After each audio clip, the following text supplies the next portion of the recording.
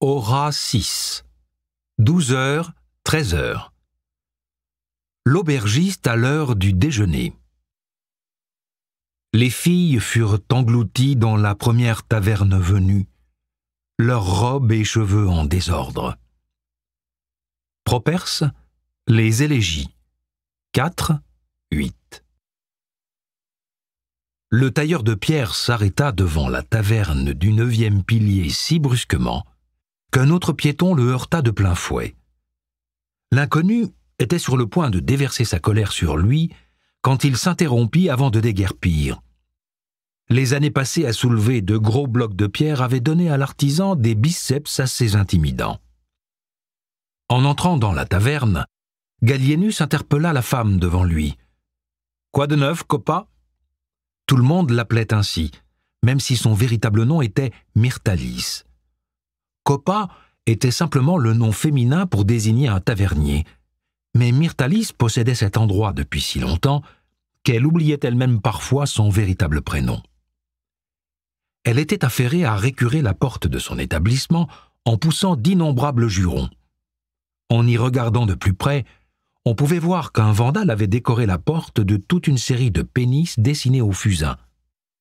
Elle s'interrompit pour repousser une mèche de cheveux châtain clair sur son front puis elle expliqua que le graffiti était l'œuvre vengeresse d'un client qu'ils avaient expulsé la veille au soir. Elle désigna d'un geste du pouce une inscription à l'intérieur derrière elle. Il a fait comme s'il n'y avait pas de panneau. On ne pouvait pas le voir depuis la rue en plein soleil. Une fresque était peinte sur l'un des murs de la salle principale. Elle représentait un jeune homme qui embrassait avec fureur une jeune esclave, vêtue d'une robe jaune volumineuse. Sur l'image, celle-ci faisait de son mieux pour repousser les avances non sollicitées de son indésirable prétendant. En dessous, on pouvait lire l'inscription suivante Nolo cum Siriska, ce qui signifiait On laisse Siriska tranquille. Le nom avait été changé plusieurs fois au cours des dernières années. Les filles de salle, même les esclaves, avaient tendance à chercher un autre emploi dès qu'elles le pouvaient. C'est le problème avec ces fornicateurs à la petite semaine, remarqua Copa. Ils croient tous que tout le monde peut toucher à la serveuse, sauf eux. Ce poivreau a ensuite raconté à qui voulait l'entendre qu'on lui avait volé sa fille. Il y avait tout un groupe de celtibères hier soir. Il leur a dit qu'il n'était qu'un tas de crétins poilus qui vivaient dans des clapiers à lapins en Hispanie et qu'ils se lavaient les dents à l'urine. Bon, il avait peut-être raison là-dessus, Ensuite, il a voulu se battre contre eux. Ça ne s'est pas très bien terminé. Mais inutile de te raconter ça, tu connais la réputation des Celtibères. Elle montra ensuite les dessins grossiers sur la porte et continua. Et puis j'ai trouvé ça. Il a dû revenir avant le lever du soleil, mais je ne les ai remarqués que quand je suis venu ouvrir pour le déjeuner. Mélange de noix. Boisson, 14 as.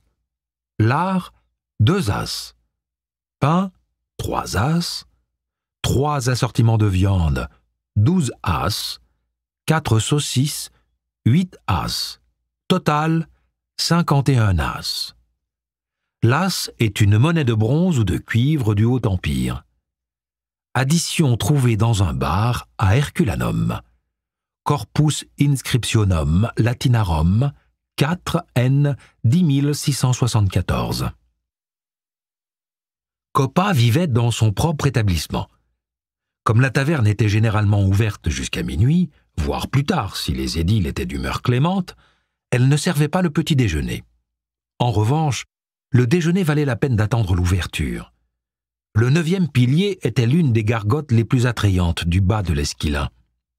Le vin qui y était servi avait véritablement le goût du raisin. Ce n'était pas le breuvage qu'on trouvait dans le coin, à savoir un liquide qui semblait avoir été distillé dans les bottes du propriétaire, comme on le disait alors. Reste que l'une des principales attractions de cette taverne était la séduisante Siriska. Coppa avait une silhouette qu'on pouvait assez justement qualifier de costaude. Sa forte carrure était parfois utile, car lorsque Siriska dansait pour les clients, le visage empourpré par le vin et un bandeau grec lui retenant les cheveux, tout le monde redoublait d'attention. Même les clients installés sur les banquettes dans l'alcôve au fond se redressaient, la tête ceinte d'une couronne de roses, pour la suivre du regard. Coppa avait bien l'intention de leur faire boire du vin jusqu'au coucher du soleil. En revanche, il ne pouvait guère espérer plus que l'autorisation de poser les yeux sur la fille de salle. Coppa gardait un bâton en noyer quasiment aussi épais que son poignet à portée de main. Quiconque tenterait de faire passer Siriska d'une danse verticale à horizontale ferait immédiatement connaissance avec sa matraque, avant d'être expulsé des lieux avec une célérité toute relative. La chanson de Coppa.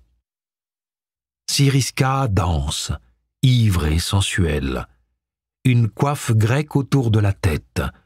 Ondule les hanches au rythme savant de ses castagnettes. Comment un homme fatigué pourrait-il se reposer dans la poussière d'une chaude journée plutôt qu'ici à rester allongé, à boire dans sa coupe remplie de bon gré? Viens reposer ton corps fatigué sous la treille ombragée, avec une guirlande de roses sur ta tête couronnée, alors que tu voles un baiser des douces lèvres d'une jeune fille enjouée. Attribué à Virgile Appendix Virgiliana, Coppa, extrait.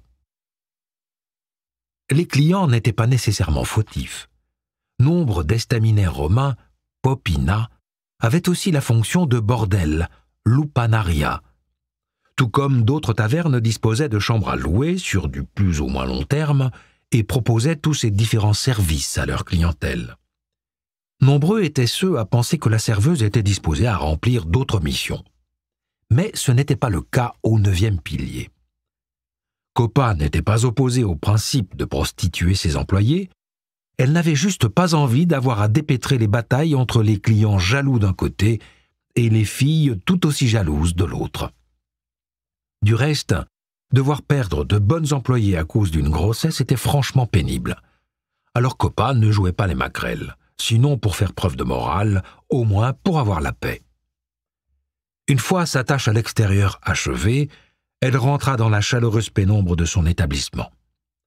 L'air était chargé d'odeurs de fumée de bois, provenant des foyers de la cuisinière. L'arôme du pain fraîchement sorti du four se mêlait à celui des canards rôtis et des asperges qui serviraient de plat principal ce jour-là. On décelait aussi quelques effluves de bois de pommier que Coppa faisait brûler tous les matins pour masquer l'odeur aigre du vin tourné et des clients crasseux qui s'entassaient les uns sur les autres, ce qui était inévitable dans toutes les tavernes et contribuait à leur ambiance. Les conversations faisaient un boucan d'enfer, Siriska ne dansait pas à cet instant, car la salle était pleine à craquer, et même si les clients appréciaient le spectacle, ils avaient surtout envie d'un bon repas.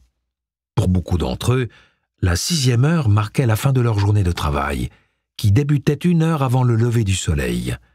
Ils souhaitaient à présent manger un vrai déjeuner et l'arroser de quelques pichets de vin coupés d'eau. Puis ils rentreraient chez eux faire une sieste avant de retrouver leurs amis pour le dîner. Ainsi, Siriska et les deux autres serveuses s'affairaient en salle, portant des assiettes pleines qu'elles déposaient sur les tables bordées de bancs, claquant gentiment les mains baladeuses et échangeant quelques nouvelles et plaisanteries faciles avec les habitués. Ce n'était pas pour rien que les phrases d'accroche pour tenter de séduire une femme étaient nommées taberna blandita, car les clients légèrement éméchés du neuvième pilier étaient tout aussi incapables de composer un épigramme en bon latin que leurs auditeurs ne pouvaient les apprécier. Les tavernes avaient la réputation d'établissement pour le moins mal dégrossi et plutôt abrupte, et cette auberge faisait de son mieux pour être à la hauteur de sa réputation. Le poète Florus à Adrien. Je ne voudrais pas être César, à parcourir la Bretagne, à me blesser les genoux, en supportant les rigueurs glacées du pays cite. Réponse d'Adrien. Je ne voudrais pas être Florus et rôder dans les tavernes, à grailler des mets indigestes et à faire le tour des troquets au point d'en revenir infesté de puces. Histoire auguste Adrien, 16. Même le canard servi au déjeuner repoussait les limites de la loi. Le prude empereur Tibère avait interdit la vente de nourriture dans les établissements qui faisaient également commerce de boissons. Toutefois, Néron, lui-même fin connaisseur des bas quartiers et de leurs meilleurs troquets, avait permis qu'on puisse y servir des plats à base de haricots et autres légumes cuits. En principe, ces lois étaient toujours en vigueur et pouvaient être appliquées si les autorités étaient payées pour s'y intéresser. Ainsi, Coppa s'assurait de rester en bon terme avec ses concurrents et principalement l'étal de vente à emporter un peu plus haut dans la rue, près du temple de Castor et Pollux. Toutefois, elle demandait aussi de temps en temps à ses clients les plus costauds d'aller leur rendre visite, pour subtilement leur rappeler qu'il serait malvenu pour eux de rompre leur accord de bon voisinage. Alors que Coppa traversait la clientèle amassée dans son établissement, s'arrêtant çà et là pour discuter avec les habitués, ses oreilles grandes ouvertes décelèrent un son bien particulier au-dessus du brouhaha ambiant. Elle changea de trajectoire, poussant les clients tel un navire à grains fondant une mer agitée. Deux joueurs avaient le regard rivé sur cinq dés qui gisaient sur la table, juste à côté du gobelet de cuir qui avait servi à les lancer. Plissant les yeux dans la faible luminosité pour observer les marques usées sur la face du dé, le premier insista. C'est un 2. Un 3, insista son compagnon. Ils auraient pu en venir aux mains si Copa ne les avait pas fermement attrapés par le col pour leur grogner dessus d'un air furieux. Est-ce que vous essayez de me faire perdre ma licence ou vous pensez qu'on fait les Saturnales là? Les Romains n'étaient autorisés à jouer et parier dans l'espace public que lors des Saturnales, le festival d'hiver. Les hommes lui répondirent d'un sourire penaud, tandis que le reste de la clientèle donnait des conseils à l'aubergiste sur la meilleure manière de régler le problème. Ignorant diplomatiquement les perturbateurs, elle remit les dés dans leur gobelet et glissa le tout dans sa robe avant d'annoncer Vous les reprendrez en partant. En juger à leur manteau à capuche un peu fruste, elle déduisit qu'elle avait affaire à des affranchis peu fortunés. Si elle confisquait leurs dés, elle aurait à subir un certain revers financier puisqu'elle perdrait aussi deux de ses habitués. Coppa posa le gobelet de cuir avec les dés sur une étagère dans la cuisine. La pièce était petite. Il y régnait une chaleur étouffante. Une porte débouchait sur une allée à l'arrière, qui, malgré toutes les protestations et les punitions, servait souvent de latrine d'urgence pour les clients les plus pressés de la taverne. Pas plus tard que la semaine précédente, Coppa avait vu tout un groupe débarquer en force dans sa cuisine pour aller se soulager derrière. L'un des clients avait même réussi à mettre le feu à ses vêtements en passant trop près du four où quelques grives malingres rôtissaient.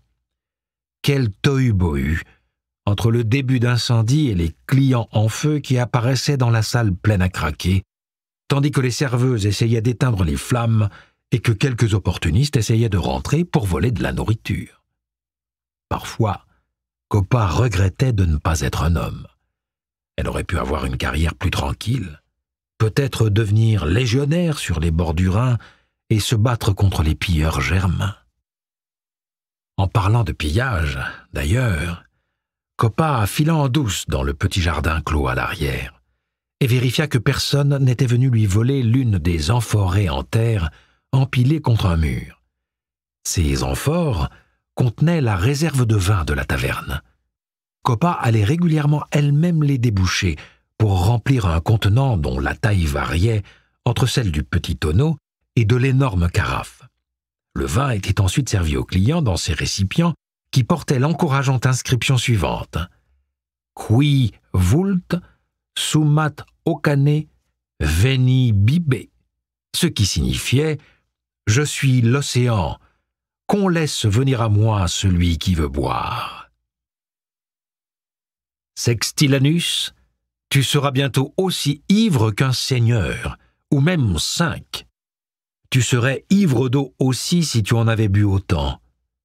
Pour boire, tu n'as pas seulement quémandé de l'argent à ceux qui t'entouraient, mais aussi à ceux qui étaient assis sur les bancs les plus éloignés, Tu ne te limites pas à de la piquette de Pélignan ou à de la vinasse au rabais des collines de Toscane. Il te faut du vin massique, vieilli en fût depuis l'époque d'Opimius. Si tu dois boire plus de dix pichets, dis à l'aubergiste de t'amener la lie qui traîne au fond de ces tonneaux de l'Alétan. Sextilanus. Martial, épigramme 1, 26. Une soudaine augmentation du volume sonore dans la pièce principale alerta Coppa. Encore des problèmes. Un petit groupe s'était attroupé autour de l'une des tables, et Siriska, furieuse, essayait de frapper quelqu'un au milieu, protégé par les autres. Persuadée par la matraque de Coppa, la foule s'écarta pour révéler deux hommes qui se battaient comme des sauvages sur l'un des bancs, étalant des lentilles et des haricots rouges partout sur le bois. Il n'y avait là rien d'inhabituel.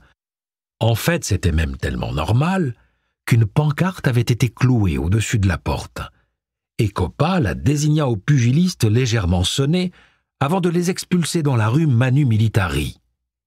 Itis foras rixatis était-il écrit, soit battez-vous dehors.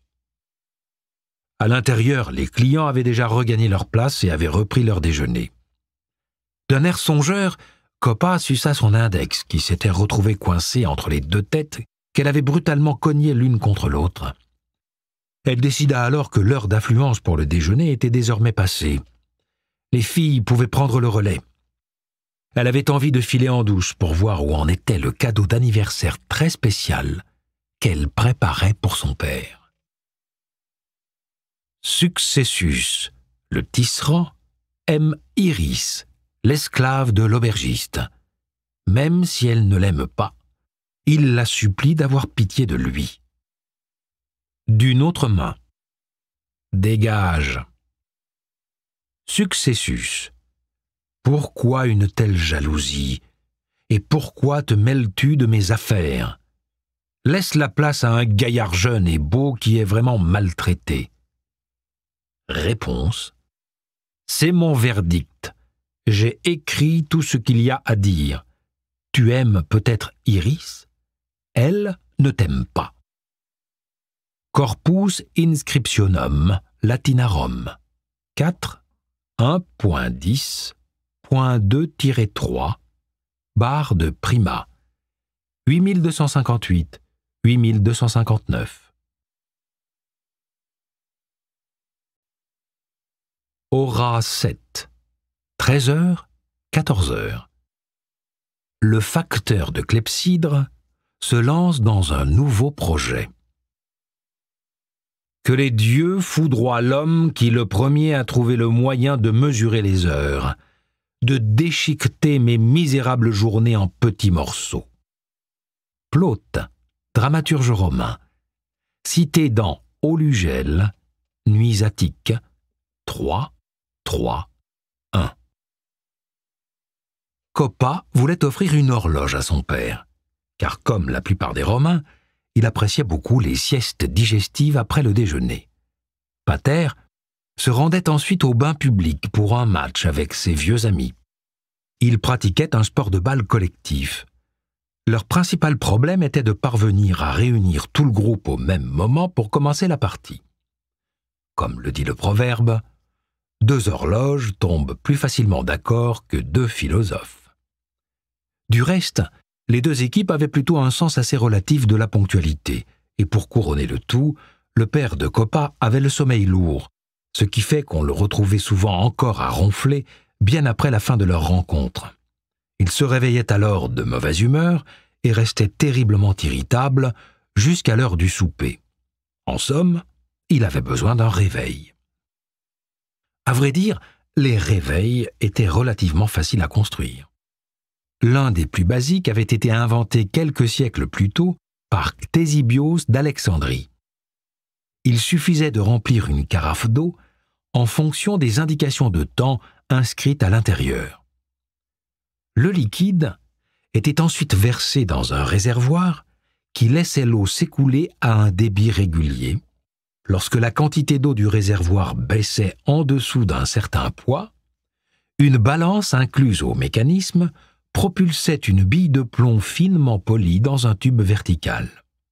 Ce tube avait exactement le même diamètre que la bille, si bien qu'en tombant, celle-ci repoussait l'air contenu dans le tube à travers un sifflet fixé à sa base.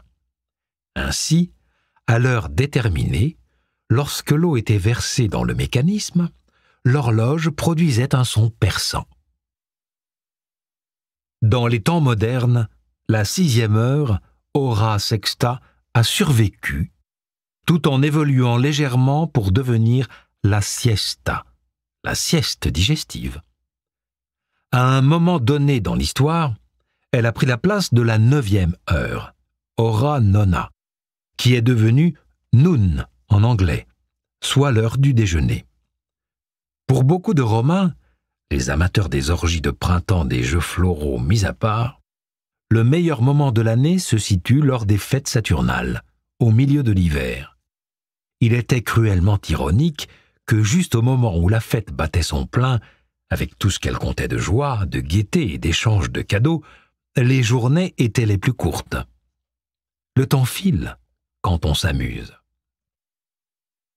C'était là le principe de la clepsydra, la voleuse d'eau comme on l'appelait dans le métier, même si la plupart des Romains l'appelaient simplement l'horologium ex aqua, l'horloge à eau.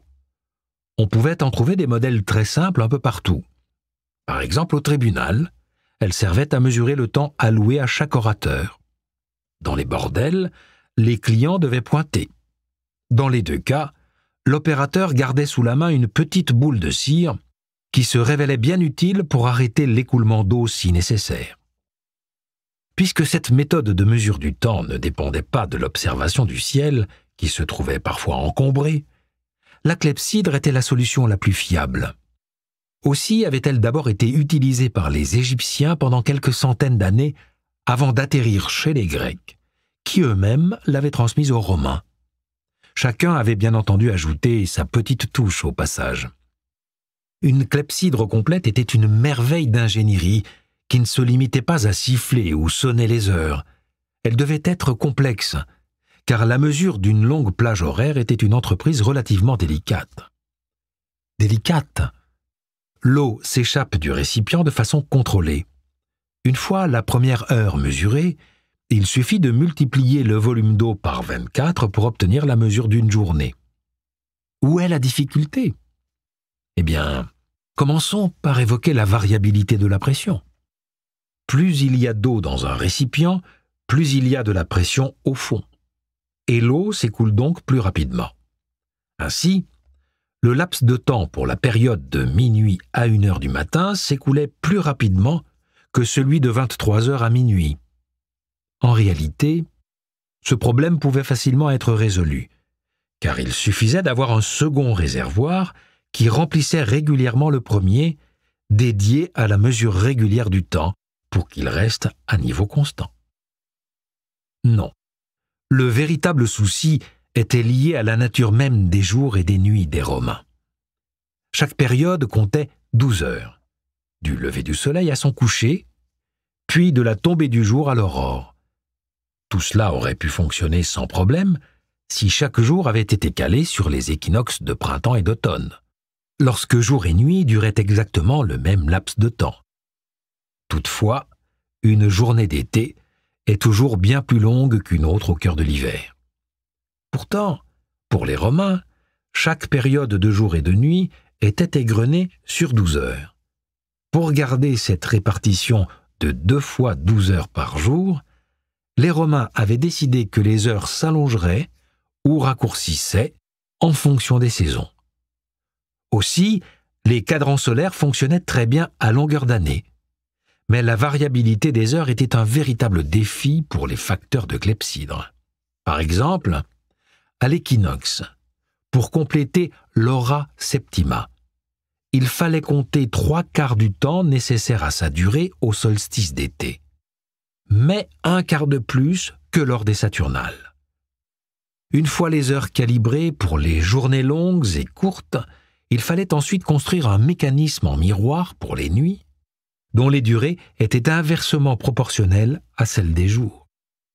En revanche, sur la longueur d'une année du calendrier romain, les journées n'avançaient pas du tout régulièrement dans cette variation d'une demi-heure. Les heures d'hiver demeuraient restreintes jusqu'au printemps, puis l'augmentation de leur durée était très rapide. Le philosophe Aristarque de Samos qui vécut environ trois siècles avant Jésus-Christ, disait que c'était parce que l'orbite de la Terre autour du Soleil était ovale. Mais cet homme était à l'évidence un imbécile, et ses théories furent complètement révoquées par Archimède. L'approche alors en cours face à ce problème faisait l'impasse sur la théorie et tentait de se confronter à la réalité aussi peu commode qu'elle fût tous les horlogers avaient leur propre méthode pour contourner le souci des heures variables et les autres inconvénients du métier. Comme le disait presque le dicton, deux horlogers tombent beaucoup plus facilement d'accord que... Vous connaissez la suite. Par exemple, Albinus, qui travaillait à la réalisation de la clepsydre pour le père de Coppa, appartenait à l'école du flux entrant, ce qui impliquait que ses créations mesuraient le temps à partir de la masse d'eau qui s'écoulait dans un récipient. Ces horloges étaient donc différentes de celles qu'il qualifiait de pseudo-mécaniques maladroites, dont le principe était de mesurer le temps à partir de l'écoulement de la masse d'eau qui quittait un récipient.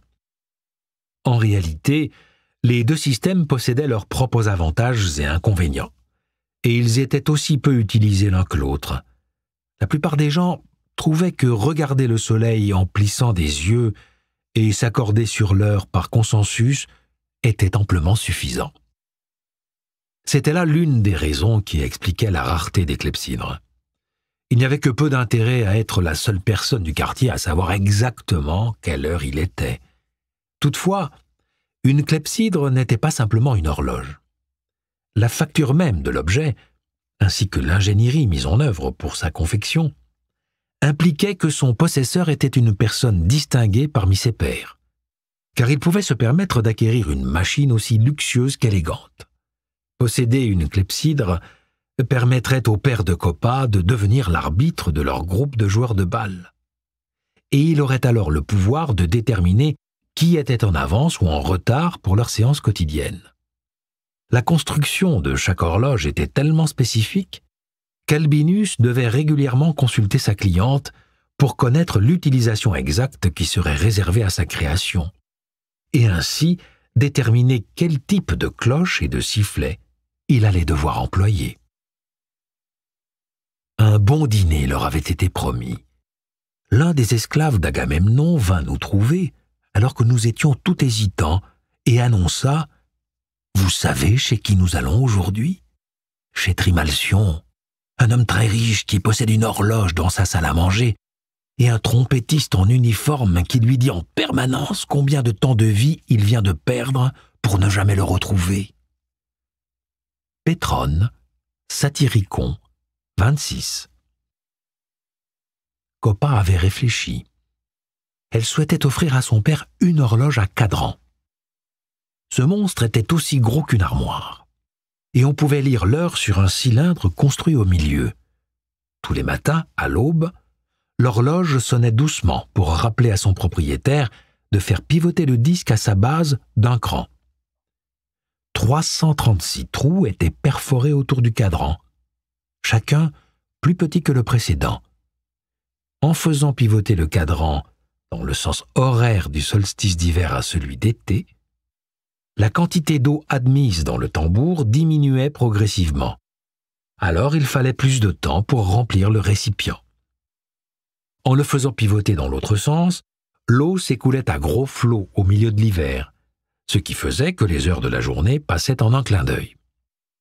Voilà pour l'utilisation des 183 premiers trous. Les encoches symétriques de l'autre côté du cadran mesuraient les heures nocturnes, et même si elles pouvaient être bien plus larges ou étroites que celles d'en face, les diamètres combinés des deux perforations étaient de taille constante. L'autre solution âprement discutée entre Coppa et Albinus était l'horloge conique. elle était particulièrement utilisée par les municipalités.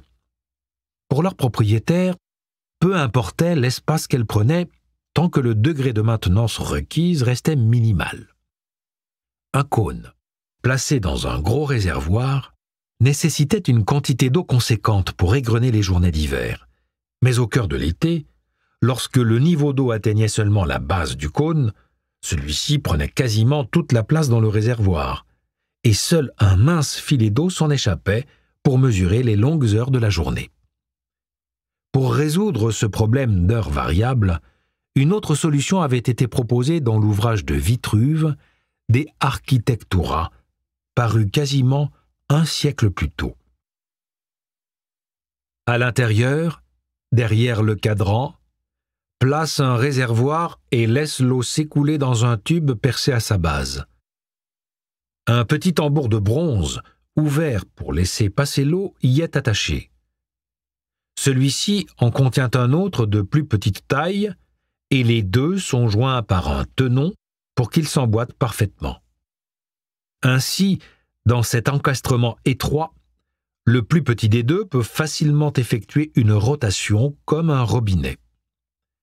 Par conséquent, lorsque le Soleil est en Capricorne, la languette placée sur le rebord du petit tambour avance chaque jour d'un point sur le grand tambour. Elle se trouve à la perpendiculaire de l'endroit où l'eau s'écoule avec la plus grande pression. Ainsi, l'eau passe rapidement à travers cette ouverture à l'intérieur du tambour, qui, la recevant et s'emplissant rapidement, raccourcit la longueur des jours et des heures. Mais lorsque, grâce à la rotation journalière du plus petit récipient, la languette atteint l'emplacement du verso, alors l'ouverture n'est plus à la perpendiculaire, et l'eau doit renoncer à son vigoureux flux et s'écouler plus doucement. Ainsi, plus le récipient reçoit l'eau lentement, plus la longueur des jours augmente. Puis il y avait cette horloge qui ressemblait plus à celle qui serait fabriquée dans les millénaires à venir. Un flux d'eau constant passe à travers une ouverture qui soulève un récipient en forme de bol inversé que les mécaniciens appellent le bouchon ou le tambour. On attache dessus une règle à créneau et une roue dentelée à intervalles réguliers. Ces dents entraînent un mouvement de révolution mesuré et constant. Les mêmes mécanismes de règles et roues dentelées soumis au même mouvement produisent lors de leur révolution différents effets grâce auxquels de petites figures sont agitées, des cônes tournent, de petits cailloux tombent, des trompettes sonnent, et bien d'autres encore. Sur ces horloges, les heures sont marquées sur une colonne ou un pilastre, et une petite figure s'élevant du bas vient tout au long de la journée désigner l'heure avec une baguette. Vitruve, de l'architecture, 9, 8, 5, 13, extrait. Contrairement aux tailleurs de pierre et aux maçons, Albinus ne disposait pas d'un large terrain pour installer son atelier. Alors que les autres artisans menaient leur affaire à plus grande échelle, l'horloger travaillait rarement sur plus de deux mécanismes simultanément. Généralement, l'un de ces deux travaux en cours était plus précieux que l'autre. En l'occurrence, il fabriquait un petit modèle portable, mais précis, qui servirait à un médecin pour mesurer le pouls de ses patients. Et le second ouvrage était beaucoup plus basique. Celui-ci était réalisé par son apprenti, un esclave affranchi d'Asie mineure plein d'ambition, à qui Albinus avait l'intention de vendre son commerce quand il serait prêt à prendre sa retraite. Il avait plus accepté cette commande pour avoir une occasion de former son apprenti que pour en tirer un bénéfice financier. La cour d'Albinus, telle qu'elle était, était constituée d'un bout de jardin, maintenant occupé par un cadran solaire gravé de marques, dont l'emplacement avait été très précisément calculé.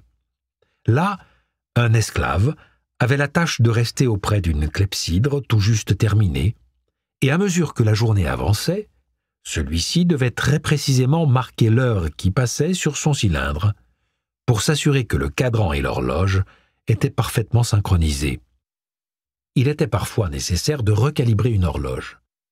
Par exemple, si son propriétaire déménageait beaucoup plus au nord ou au sud, disons en Gaule ou en Sicile, alors la longueur des heures de jour et de nuit n'était plus alignée sur celle de Rome. Les flux d'eau devraient alors être minutieusement ajustés pour coïncider avec les horaires de la nouvelle localisation. Albinus enviait pas mal de ses contemporains, installés sur la ligne d'équateur, s'il y en avait, car pour eux, chaque jour et chaque nuit durait douze heures sans jamais connaître la moindre fluctuation. Qu'il devait être facile d'y être horloger. Un voyageur romain équipé d'un cadran solaire aurait trouvé qu'à Rome, l'ondre portée du gnomon, soit l'aiguille centrale, mesurait huit neuvièmes de sa longueur, alors qu'il n'en faisait que trois quarts à Athènes, et seulement trois cinquièmes à Alexandrie. L'horloger essayait de persuader Coppa qu'elle devrait aussi acheter pour son père un objet très élaboré, disposant d'une aiguille qui se déplace sur une carte des constellations, permettant ainsi de suivre l'avancée des saisons en utilisant soigneusement un mécanisme précis. Toutefois, l'aubergiste rusé ne s'en laissait pas compter.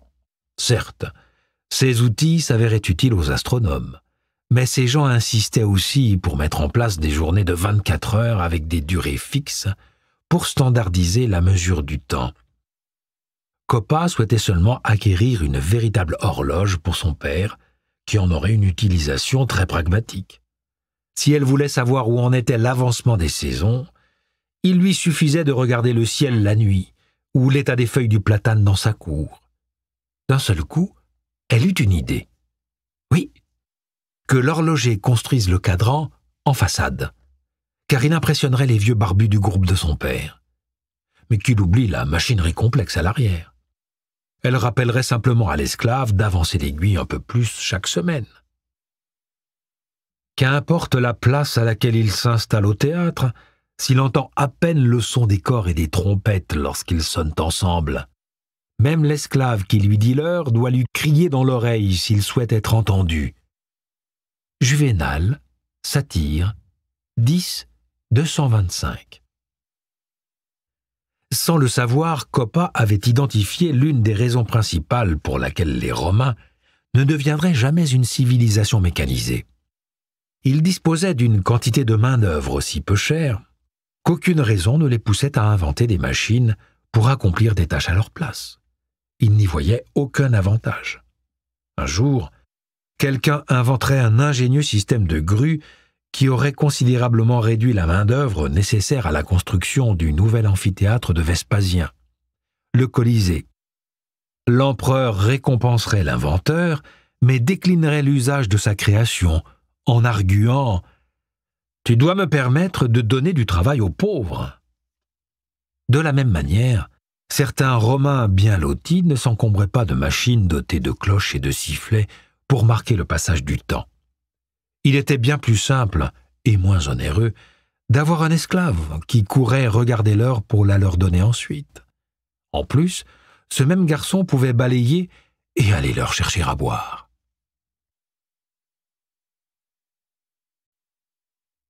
Aura 8. 14h, 15h. L'employé des bains accueille un client.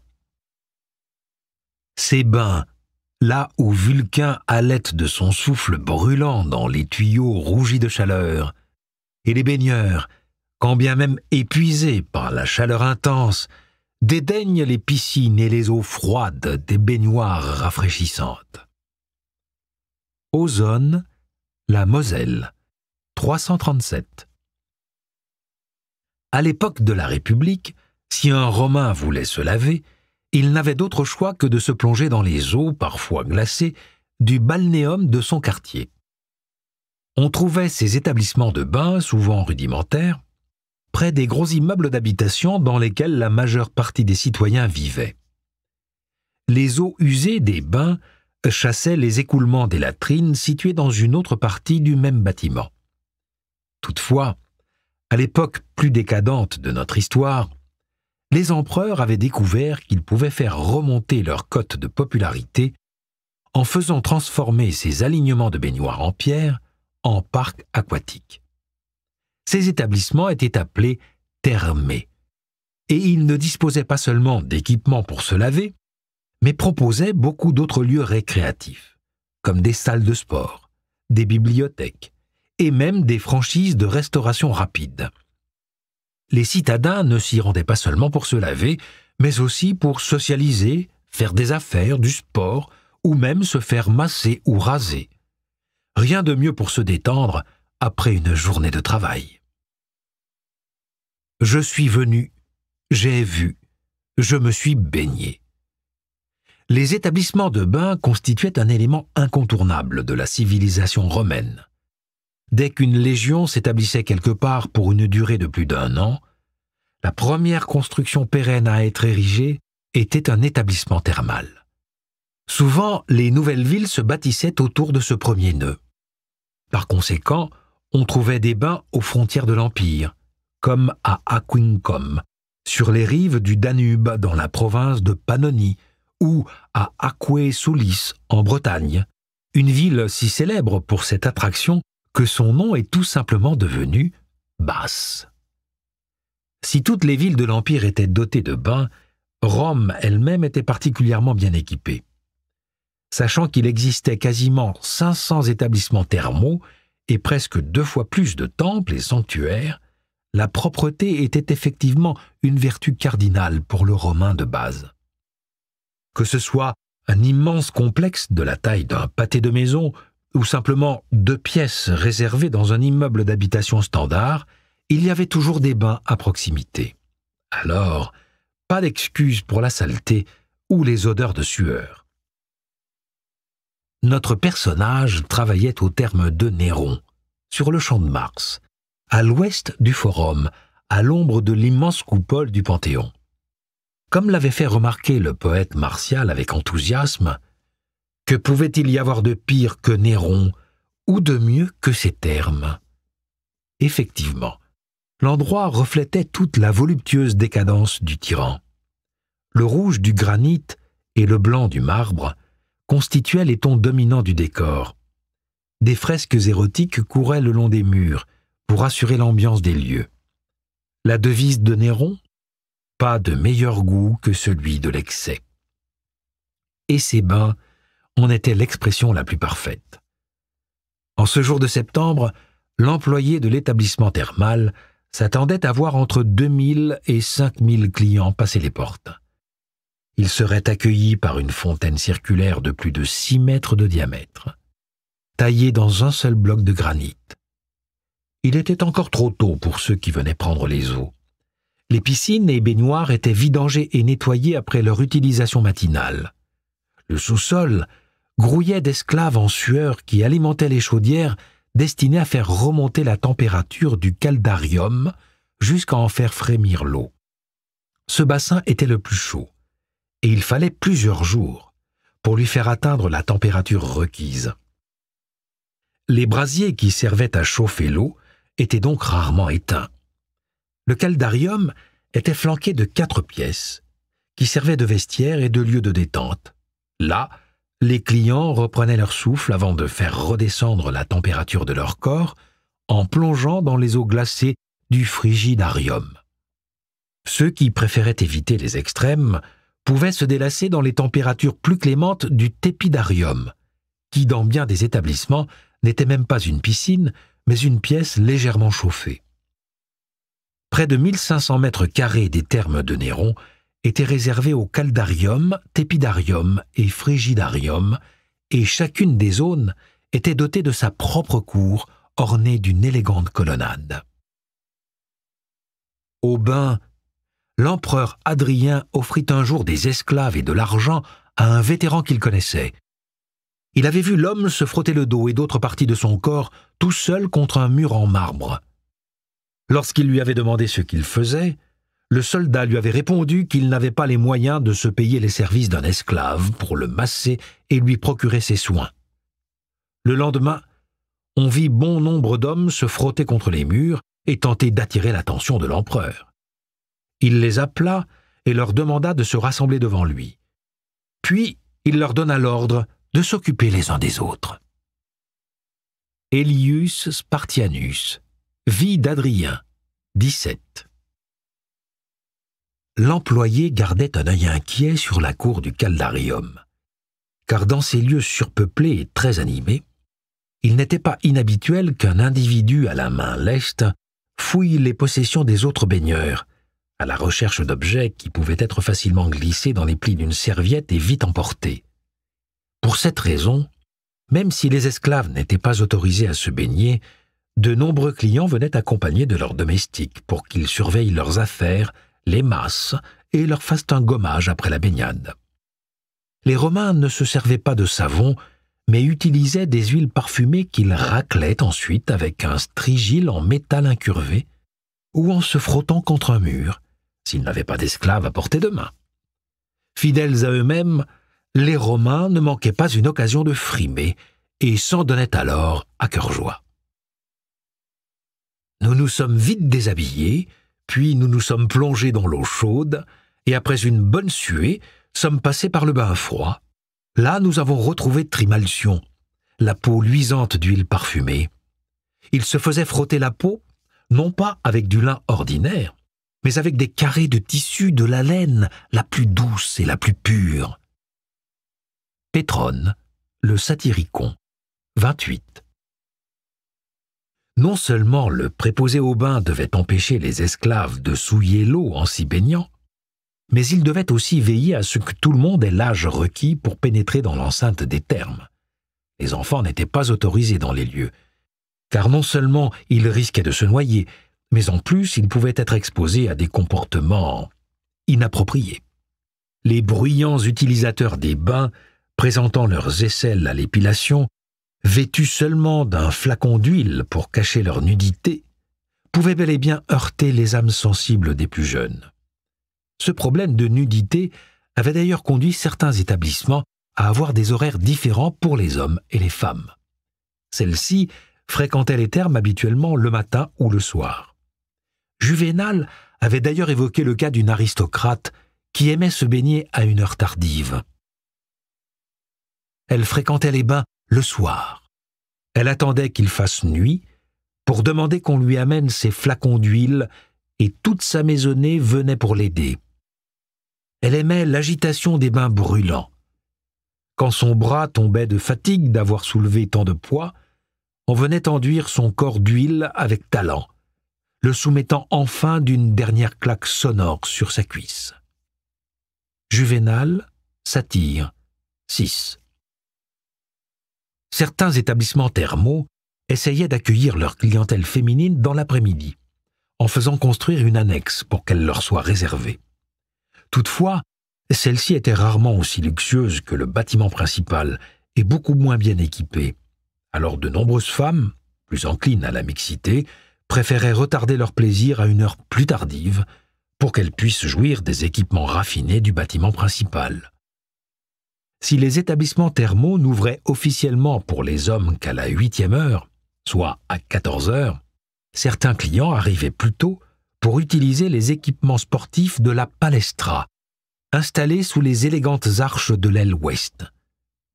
Sans avoir besoin de tourner la tête, l'employé entendait les bruits réguliers des balles en cuir que des joueurs se lançaient rapidement dans un jeu de passe et d'esquive. Il percevait aussi des bruits plus secs émis par une personne qui tapait dans un sac suspendu au plafond.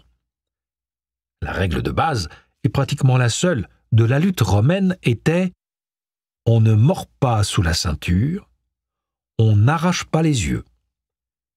Alors, pour éviter les problèmes inutiles, les agents des bains préféraient attribuer l'un de ces sacs aux lutteurs amateurs, plutôt que de les laisser affronter un véritable adversaire l'employé des termes gardait aussi un œil sur un individu un peu enrobé qui s'était lancé dans une série d'exercices de levée de poids bien trop ambitieuse pour lui. Il était complètement essoufflé quand il soulevait la masse de plomb, et sa respiration se faisait sifflante quand il expirait au repos. Cette cacophonie ambiante a été amèrement résumée par le philosophe Sénèque, qui se voyait véritablement contraint d'abandonner toute réflexion en début d'après-midi. Je vis dans le bruit, car j'habite au-dessus des bains. Imagine-toi un peu tous les sons qui te font maudire tes propres oreilles. Il y a les sportifs décérébrés qui grognent en faisant de grands mouvements avec leur masse de plomb. Ils sont durs à la tâche, du moins, c'est ce qu'ils font croire. Je les entends geindre et siffler en expirant après avoir retenu leur respiration. Même quand il y a un paresseux qui se contente d'un simple massage, on peut entendre à la claque portée sur son épaule si celle-ci s'abat sur une surface plate ou creuse. Si un amateur des jeux de ballon arrive et se met à compter les points, alors c'en est fini pour moi.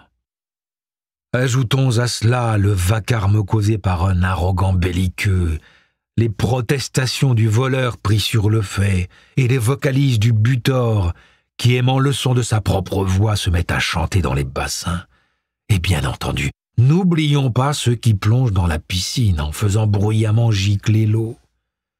En plus des gens qui parlent naturellement fort, imagine celui qui épile les aisselles, lancer des cris stridents pour attirer l'attention. Il ne s'arrête jamais, sauf quand il officie. Et là, il en fait crier un autre à sa place.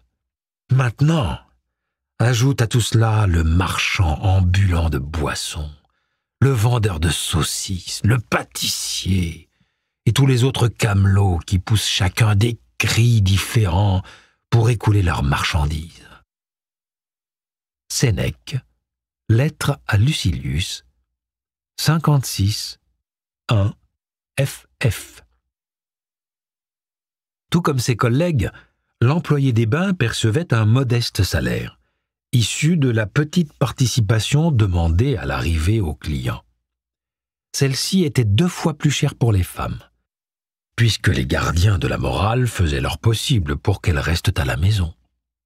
Toutefois, la majeure partie des revenus de l'employé provenait de pourboires qu'il recevait en rendant de petits services aux clients. Il pouvait s'agir de leur gratter la peau après qu'ils se soient enduits d'huile parfumée, de surveiller leurs affaires, ou, d'après la rumeur scandaleuse qui circulait, d'offrir des services de nature plus intime aux clientes. Aussi, l'employé observait-il indigné les flatteries des lèche-bottes comme ménogènes. On peut faire tout ce qu'on veut, impossible d'échapper à ménogène au bain, que ce soit dans la zone chaude ou la zone froide. Si tu joues à la balle, il l'attrapera au vol de ses mains avides. Alors tu lui devras un fier service d'avoir sauvé le point. Encore. Et encore. Quand le ballon se dégonflera, il ira le ramasser, même s'il est tout sale, même s'il vient de se laver et qu'il est en chaussons. Si tu amènes ta propre serviette, il te dira qu'elle est plus blanche que neige, même si elle est encore plus sale que le bavoir d'un enfant. Quand tu passeras un peigne en ivoire sur tes quelques rares cheveux, il t'affirmera que ta coiffure ressemble à celle d'Achille. Il t'apportera aussi la dernière coupe de vin fumant et t'épongera la sueur du front. Il complimente tout admire tout et supporte avec patience mille tourments jusqu'à ce que tu finisses par lui demander Tu viens dîner avec moi? Martial, épigramme 12, 83. Les dîners constituaient des événements majeurs dans la vie sociale de tout Romain. Qui dînait où? Avec qui? Et quel plat suscitait le plus de commérages? Voilà les sujets de conversation qui animaient les termes, alors que Rome se préparait au plus important repas de la journée. Même l'employé des bains, alors qu'il errait entre les salles pour nettoyer les lieux, à mesure que la foule de visiteurs s'en allait, essayait de ficeler son programme pour la soirée. Dasius sait compter ses baigneurs. Il a exigé de Spatale, cette femme à la poitrine généreuse, qu'elle paie trois fois le prix d'entrée. Elle l'a fait. Martial, épigramme 2, 52. top 3 des bains publics de Rome à partir de l'an 123. 1. Les thermes de Trajan. Flambant neufs, ils furent terminés en l'an 109 après Jésus-Christ et créés par l'architecte star Apollodore de Damas.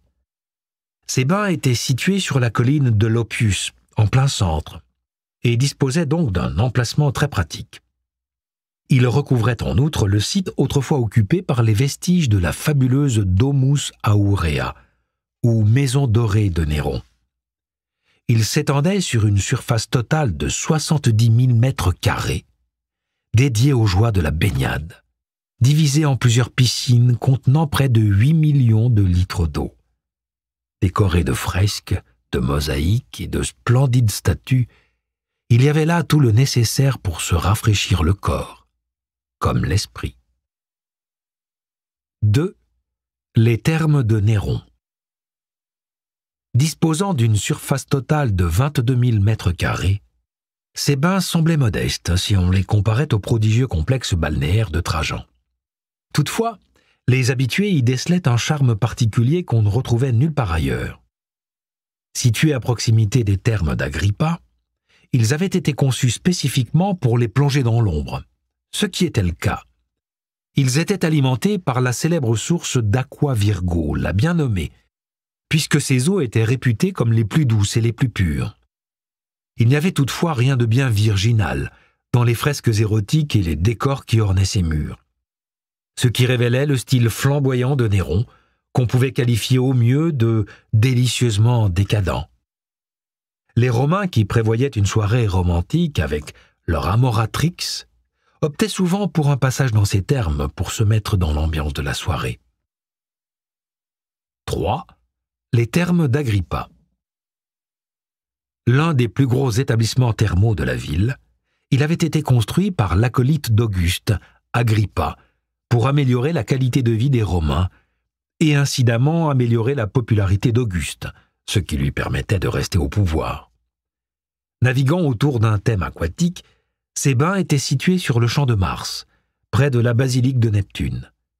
Ils accusaient déjà un certain âge, puisqu'ils avaient été construits près d'un siècle plus tôt, en 27 après Jésus-Christ, avant d'être ravagés par les flammes d'un incendie. Adrien dut se charger de leur restauration, tout comme l'autre grande structure portant la marque d'Agrippa, le Panthéon. Il les transforma en surpassant l'original. Aura 9. 15 h 16 h L'hôtesse organise sa soirée. À la neuvième heure, on use les divans garnis d'une multitude de coussins. Martial, Satire, 4, 8, 5. Rome était un monde d'hommes. Prenons Marcus Aulus Maninus. Riche, socialement respecté, et doté d'un nom reconnu dans les affaires d'import-export il possédait une cinquantaine d'esclaves et un entrepôt sur les docks de l'Aventin, dont la valeur se chiffrait en dizaines de milliers de denarii. En tant que pater familias, il avait pouvoir de vie ou de mort sur ses deux filles. Si sa femme venait apporter un autre enfant, elle viendrait le déposer à ses pieds, et si Marcus le prenait dans ses bras, le bébé serait accepté dans la famille.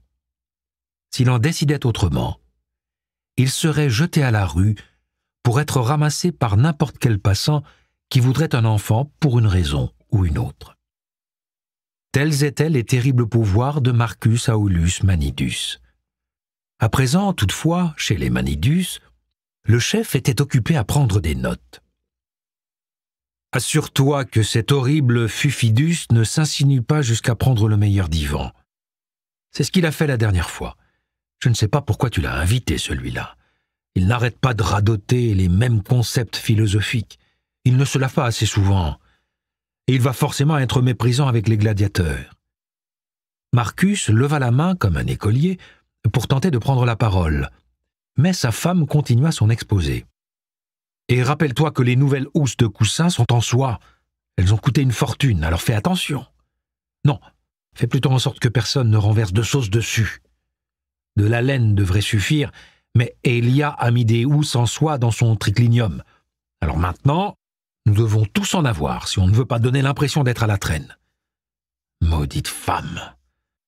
Et puis, toi, c'est Luca. Viens ici. L'esclave, qui avait tenté de se glisser en douce derrière la porte, approcha d'un pas incertain et méfiant. Des nouvelles du cuisinier? Je t'ai dit de m'avertir de son arrivée dès qu'il entrerait dans la maison. L'esclave semblait épuisé. Je ne l'ai pas encore vu, maîtresse. Je retourne immédiatement voir le portier. Voilà, c'est ça. Marcus, reviens ici tout de suite. Nous n'en avons pas terminé. Marcus rejoignit sa femme en soupirant.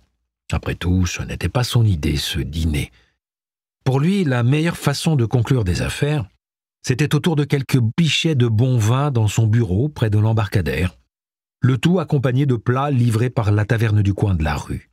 Comme ça, ses associés et lui pouvaient ensuite se diriger tranquillement vers l'entrepôt et inspecter personnellement la marchandise tout en discutant directement avec le personnel qualifié.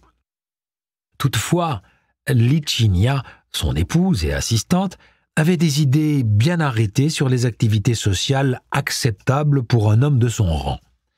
Et elle était bien déterminée à ce qu'il se livre à ces dites activités, même s'il les trouvait tuantes. D'ailleurs, c'était une possibilité.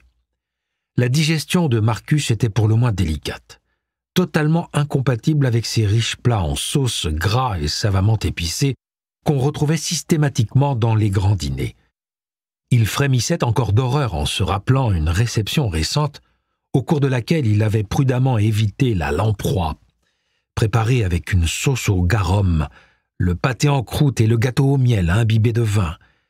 Malgré tous ses efforts, il avait été anéanti par une betterave, si bien qu'il avait dû passer les trois jours suivants plié en deux dans les latrines locales.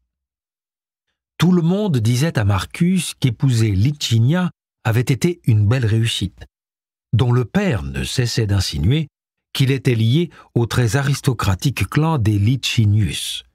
Marcus avait vérifié. Il y avait effectivement un lien, mais pas de quoi se vanter non plus. L'arrière-arrière-grand-père de Licinia était esclave chez Licinius Lucullus.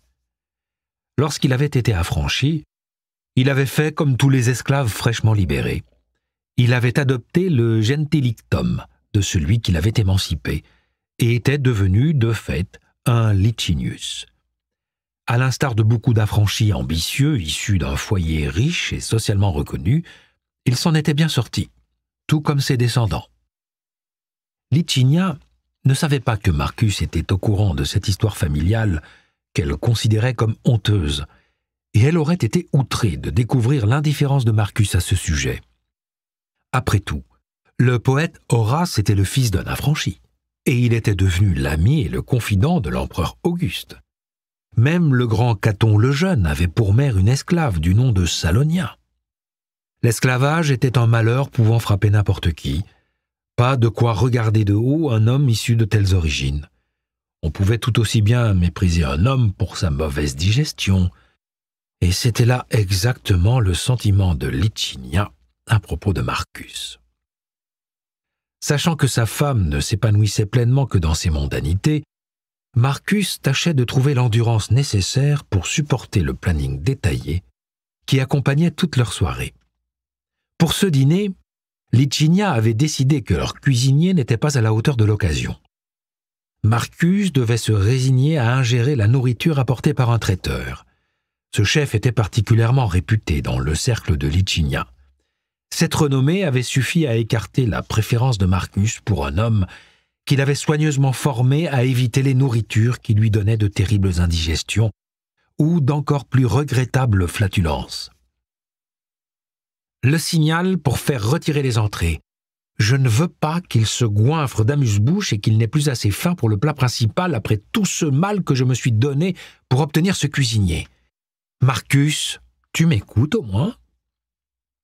À vrai dire, même si Marcus n'appréciait guère ce type de soirée, elle constituait une partie essentielle de la vie romaine. Lancer ou accepter des invitations à dîner était un moyen pour les Romains d'un certain milieu d'évaluer la situation financière de leurs relations, ainsi que l'étendue de leur réseau social et amical. Ces réunions offraient également l'occasion, et ceci était une préoccupation toute nouvelle pour Licinia, de repérer les familles dont les fils représentaient un bon parti. C'était aussi de cette façon qu'on pouvait s'enquérir des dernières rumeurs. Il ne s'agit pas simplement de ragots colportés de bouche à oreille. À une époque dépourvue de journaux, c'était par oui-dire qu'on apprenait qu'un nouveau marché venait de s'ouvrir en Arabie, ou qu'un navire plein de marchandises s'était volatilisé au cours d'une tempête dans l'océan Indien. Ce genre d'événement avait de réelles répercussions sur le commerce et sur les décisions qu'il fallait prendre. Alors, aux yeux de Marcus, cela valait bien la peine de se risquer à manger un loir confit dans du miel, quitte à devoir en essuyer les terribles conséquences. Dommage que Licinia ne puisse participer au dîner elle-même, ou même mieux, prendre la place de Marcus. En vérité, certaines femmes dînaient en ville, mais Licinia insistait sur le fait qu'elle n'était pas ce genre de femme. Il semblerait que la présence d'une mater familias lors d'un dîner soit aussi scandaleuse que celle de ces délurés, qui participaient au symposium dans l'Athènes du siècle de Périclès. Bien entendu, si elle devait assister à ce repas, Licinia resterait assise bien droite sur une chaise. Elle ne s'affalerait pas avec trois ou quatre autres personnes sur un canapé, comme tous les autres convives masculins. De toute façon, ces dîners étaient strictement réservés aux hommes. Et Licinia ne pensait pas plus à y participer que Marcus ne songeait à s'incruster à l'une des réunions matinales entre femmes que son épouse organisait dans son salon. Quintus le demanda aussi gentiment que possible. Pomponia, pourrais-tu inviter les dames à déjeuner? Je m'occuperai des hommes. Il n'aurait jamais pu lui demander quoi que ce soit plus poliment non seulement dans le choix de ses mots, mais également dans ses intentions et son expression. Mais elle, en nous entendant, s'exclama Moi Mais je ne suis qu'une étrangère ici. Je crois que le fait que Statius soit parti avant nous pour arranger les détails du déjeuner était à l'origine de la crise. Pomponia s'est alors retrouvée tenue à l'écart d'une tâche qu'une mater familias devait accomplir.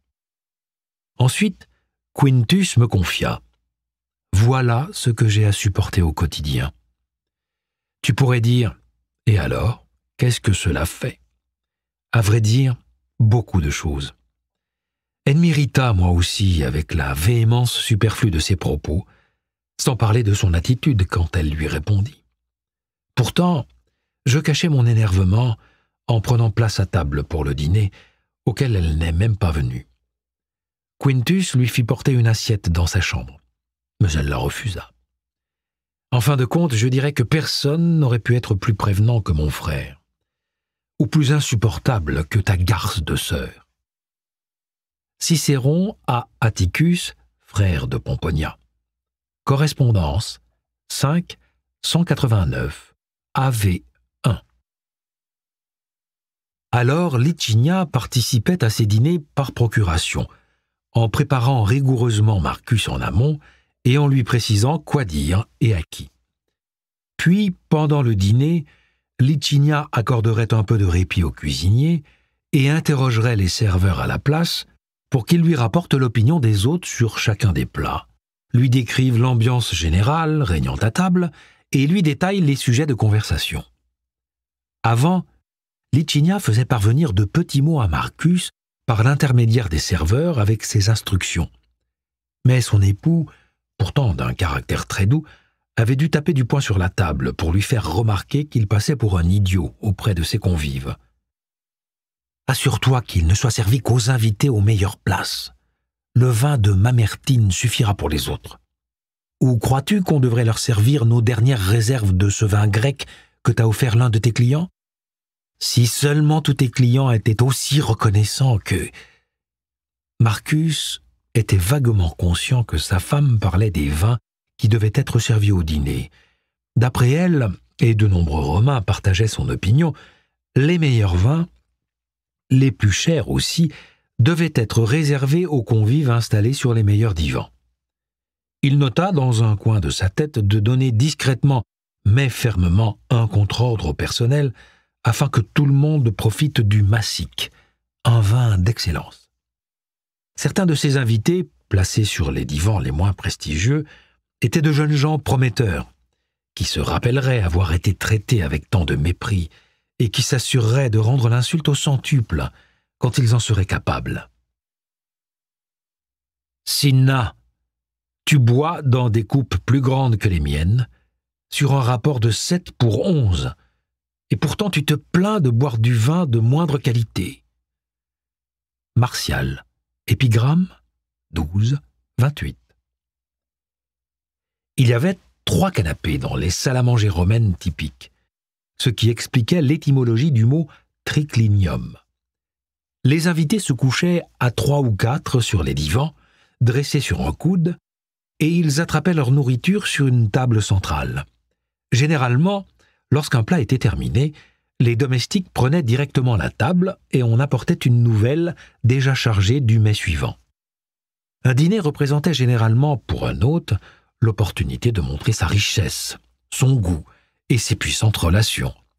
Il devait alors faire son possible pour que la nourriture servie soit la meilleure que lui, ou plutôt sa femme, pouvait obtenir.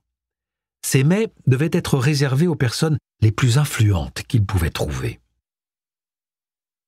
L'autre jour, je me suis retrouvé à dîner chez une personne que je ne connais pas particulièrement bien. Cet homme agit selon lui avec goût, mais économie. De ce que j'ai pu voir, il allie le pire de l'avarice et de l'extravagance.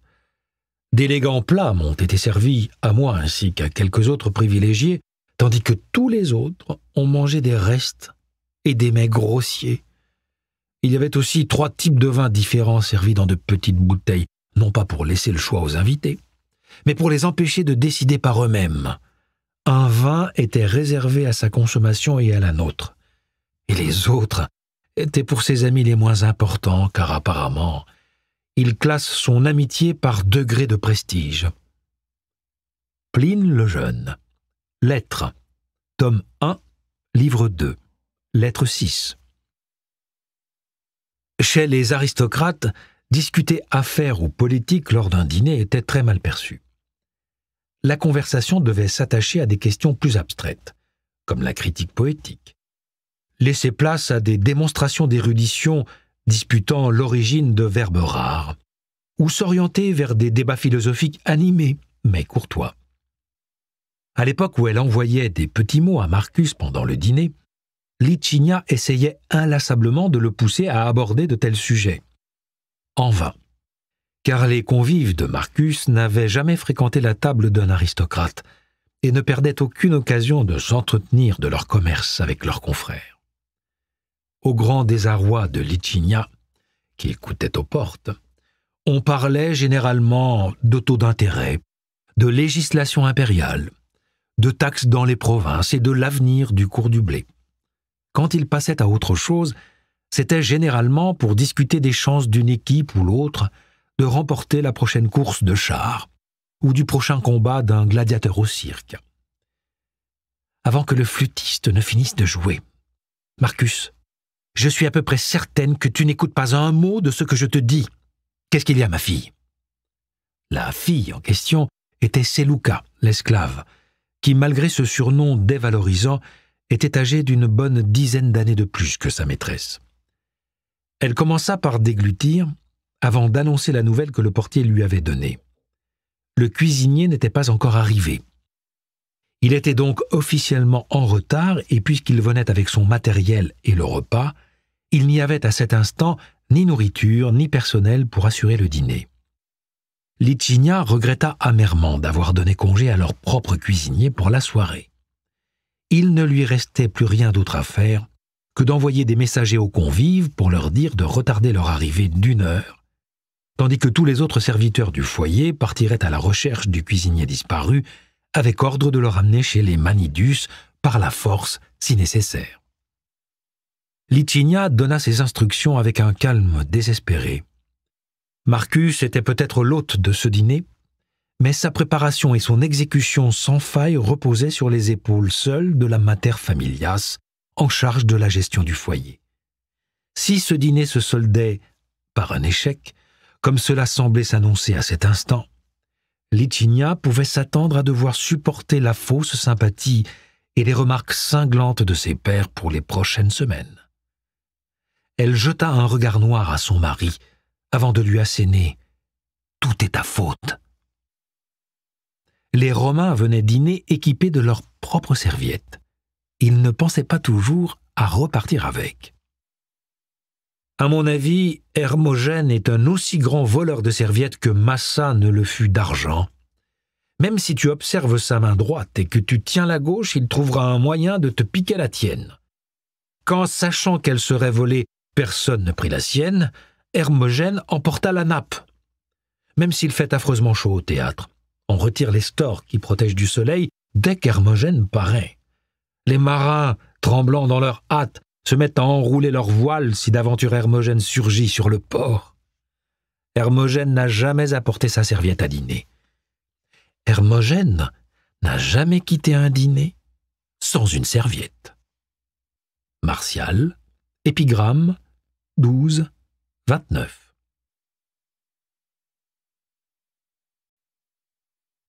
Aura 10, 16h, 17h. La blanchisseuse termine tard. Je chante les fouleurs et les braillements pas les combats et ce guerrier pieux. Graffiti inscrit sur la foulonnerie de Fabius Ululi Tremulus, Pompéi, Corpus Inscriptiones Latinarum, 4 9131. Toute personne partie à la recherche de Quetchilius, le cuisinier, notamment les esclaves de Manidus, agirait de la même façon il n'irait le chercher dans la cour de Thaïs la fouleuse qu'en dernier ressort. Non pas parce qu'ils avaient peu de chance d'y trouver Quetchilius. À vrai dire, Thaïs et lui entretenaient une liaison, si bien que le cuisinier passait un certain temps là-bas. Toutefois, l'odeur était tellement fétide dans la cour que les esclaves préféraient s'attarder dans des endroits à l'odeur plus alléchante, où Quetchilius n'était probablement pas, plutôt que de s'approcher de la maison nauséabonde dans laquelle il se trouvait certainement. C'était là une triste réalité. Mais à part les ateliers des tanneurs, peu d'endroits à Rome puaient plus que les cuves des blanchisseurs. Les tanneurs étaient relégués dans le quartier du Trastevere par décret, à l'ouest du Tibre. En revanche, puisqu'une blanchisserie était un commerce spécialisé et qu'aucun Romain ne lavait ses propres vêtements, on en trouvait quasiment une dans chaque pâté de maison. Il était donc impossible d'échapper à l'odeur. La Fulonica de Thaïs était un établissement parfaitement ordinaire. C'était un grand bâtiment spacieux créé pour laisser passer tous les courants d'air.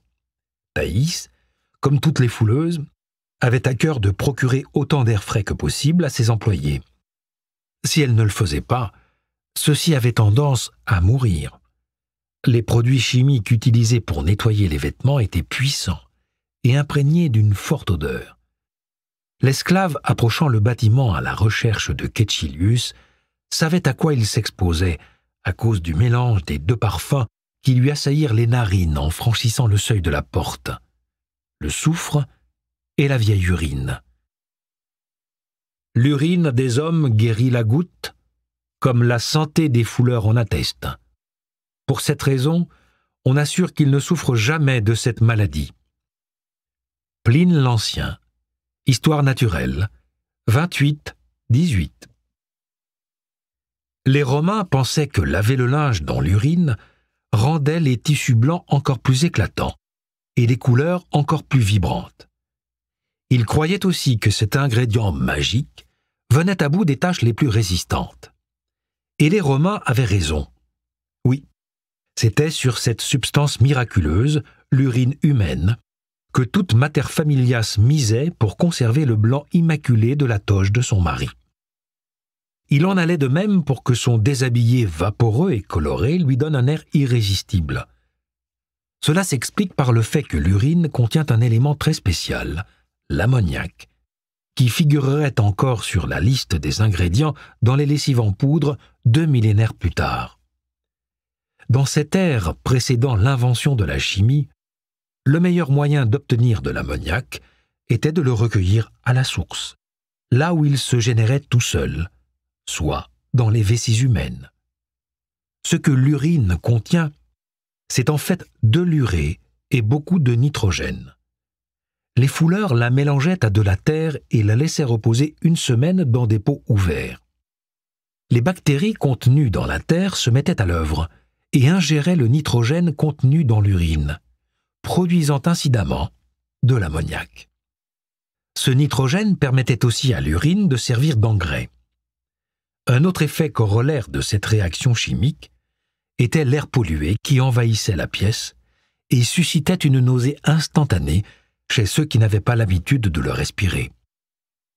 L'ammoniac était alors nécessaire pour laver le linge, car la peau humaine est dotée de glandes produisant une substance huileuse et cireuse appelée le sébum.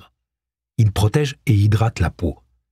Et lors des chaudes journées d'été, il émulsionne la sueur pour qu'elle devienne une fine pellicule rafraîchissante sur l'épiderme, plutôt que de s'écouler en gouttelettes. Le problème du sébum, c'est qu'il se dépose sur les vêtements, les rendant graisseux, puis crasseux, car la graisse fixe les saletés. De l'eau ne suffit pas à faire partir cette crasse. De l'eau mélangée à cet ingrédient spécial permettait à l'ammoniac d'éliminer la graisse et donc de mieux laver les vêtements. Mais attendez, ce n'est pas tout. Les vêtements des Romains étaient teints grâce à des colorants naturels, comme des graines, des feuilles, des lichens, de l'écorce ou des baies. Les teintures n'étaient pas fixées. Les vêtements perdaient non seulement leur couleur au lavage, mais aussi pendant qu'ils étaient portés, à moins que les teintes n'aient été fixées aux fibres du tissu grâce à un produit chimique appelé le mordant. Les meilleurs mordants dans une société pré-industrielle se trouvaient, vous l'aurez bien entendu deviner, dans la vieille urine. Lorsque l'esclave qui cherchait le cuisinier rencontra Thaïs, elle supervisait justement le stockage de la récolte d'urine du jour elle se servait de larges urnes stratégiquement placées au coin des rues, au fond des allées et dans les arrière-cours des tavernes les plus chics. Les Romains n'avaient pas à dépenser un sou pour se soulager, parce que des personnes telles que Thaïs intervenaient. Depuis la moitié du premier siècle, les fouleurs devaient payer une taxe sur chaque urne qu'ils déposaient pour collecter les généreux fruits de la nature. Lorsque son fils Titus lui reprocha d'avoir mis une taxe sur les urnes des fouleurs. Vespasien tendit une pièce venant du premier paiement sous le nez de son fils et lui demanda Est-ce que ça sent mauvais? Suétone, vie de Vespasien, 23. Tandis que les urnes étaient remisées dans un coin, des esclaves vidaient les bassins de décantation dans la cour de l'atelier. Les teintures sur les tissus n'étaient pas encore pérennes. Alors un bassin servait au tissu vert pâle, un autre aux étoffes d'un vert plus profond, un autre encore pour les toiles brunes, et ainsi de suite. Les bassins contenaient une mixture à base d'eau, de colorants dilués et d'urine tiède. Ils étaient régulièrement vidangés pour éviter que la mixture ne devienne trop fétide. Au cours d'une journée de travail, les vêtements étaient déposés par les clients, et Thaïs les laissait tremper dans ses bassins la blanchisseuse gardait un registre méthodique des dépôts de linge, car si deux pièces étaient échangées, abîmées ou perdues, il fallait les remplacer ou les rapiécer aux frais de la maison. Il existait trois moyens de distinguer quelqu'un qui travaillait dans une foulonnerie. D'abord, il y avait l'odeur âcre qui pénétrait jusqu'au port de la peau du fouleur. Ensuite, il y avait les quintes de toux persistantes, car même si une fulonica était bien aérée, le mélange des puissants détergents employés finissait par attaquer les poumons. Enfin, tous les esclaves étaient dotés de jambes dignes de champions olympiques. Pourquoi? Parce qu'une fois les vêtements bien trempés, ils étaient déplacés dans des cabines de part et d'autre du hall central et déposés dans des bassines à présent vides. Au cours de la journée, les esclaves montaient dedans et sautaient sur les vêtements pour que l'ammoniac imprègne bien les fibres des tissus. Ce mouvement, le foulage, était pratiqué dans les gymnasia par ceux qui souhaitaient développer la musculature de leurs jambes. Ceux qui n'avaient pas d'autre choix que de répéter ce mouvement à longueur de journée finissaient par avoir des mollets bien musclés. Thaïs se tourna vers l'inconnu qui venait d'entrer chez elle et l'interrogea du regard, mais en vain. Tout d'abord parce qu'il faisait déjà trop sombre dans son atelier pour qu'on puisse lire l'expression de son visage. Et ensuite parce que le visiteur était en train d'éternuer à cause d'un petit nuage de soufre qu'un courant d'air avait porté de l'atelier. Généralement, seules les toges étaient traitées au soufre, parce que dans la vapeur, les éléments volatiles obtenus en faisant brûler du soufre permettaient de venir à bout des tâches. Mais elle cachait sa passion pour un amant secret. Il la retrouvait constamment pour partager quelques étreintes furtives. En fait, elle et son jeune amant faisaient énergiquement l'amour quand nous, son mari et moi, sommes revenus un peu tôt des bains avant de dîner. Notre arrivée extrêmement soudaine força l'épouse à agir rapidement. Alors elle poussa son amant dans une cage contenant du soufre. Il s'agissait d'une sorte de gros entonnoir d'osier lissé avec une petite ouverture sur le dessous. Il suspendait les vêtements dessus pour les blanchir dans le nuage de soufre qui se consumait. Son amant bien caché, elle rejoignit joyeusement son mari à table. Toutefois, le jeune garçon passait un mauvais quart d'heure dans les émanations de la fumée âcre. Enfin, la densité des vapeurs finit par le faire étouffer, tandis que les éléments actifs du soufre eurent le même effet que d'habitude, à savoir le faire éternuer, et éternuer encore plus. Apulé, métamorphose, 9, 22 et suivant. Extrait. Irrité, Thaïs cria à ses esclaves au fond de l'atelier de bouger la tente. Ils obéirent assez rapidement, car il n'était pas rare qu'elle le demande, et l'atmosphère de l'atelier était déjà bien assez étouffante. Lorsqu'une toge était retirée du bassin de foulage, elle était généralement essorée pour sécher. L'effort requis pour essorer les 3 à 5 mètres carrés de laine nécessaires pour faire une toge banale assurait aux employés de la foulonnerie des bras aussi robustes que leurs jambes. Une toge était de forme semi-circulaire lorsqu'elle n'était pas élégamment drapée sur la personne qui la portait. Ce qui faisait qu'il était facile de l'enrouler autour du support incurvé fait de brins d'osier flexibles qui servait à faire sécher et à fumiger une toge. Tandis qu'une tente à toge laissait échapper les vapeurs dues à la fumigation de soufre, les esclaves travaillaient sur une autre pièce d'étoffe, l'étriant avec une peau de hérisson pour redresser les fibres à la surface du tissu. Ce procédé permettait de donner à la laine un aspect plus épais et plus luxuriant, mais aussi de s'assurer que le soufre pénètre chaque recoin du vêtement. Si la toge était destinée à une occasion particulière, le fouleur pouvait se voir demander de préparer une toga candida. Ce type de toge était d'un blanc resplendissant, car elle avait été frottée avec de la terre de Kimolos, qui conférait un lustre nacré tout particulier aux vêtements. Les politiciens apportaient un soin particulier à la toga candida, parce qu'elle était portée par toute personne attendant de recevoir une fonction publique, ce qui expliquait pourquoi ils étaient appelés les candidats. La législation était très précise à ce sujet et elle avait été notée par le naturaliste Pline l'Ancien. Une loi faisant référence aux fouleurs est toujours d'actualité. Le procédé recommandé est le suivant. Le tissu est tout d'abord lavé avec de la terre sarde, de Sardaigne, et il est ensuite exposé à une fumigation au soufre. En partant du principe que la teinture est de qualité, le vêtement devrait ensuite être récuré à la terre de Kimolos. S'il est teinté d'un mauvais colorant, on le verra immédiatement, car il noircira, et le soufre le fera déteindre. Toutefois, la terre de Kimolo s'ajoute une certaine profondeur et un beau lustre aux vêtements de qualité. Pline l'Ancien, Histoire naturelle, 35-57. Entre éternuement et quinte de tout, l'esclave parvint à formuler sa question sur le cuisinier errant.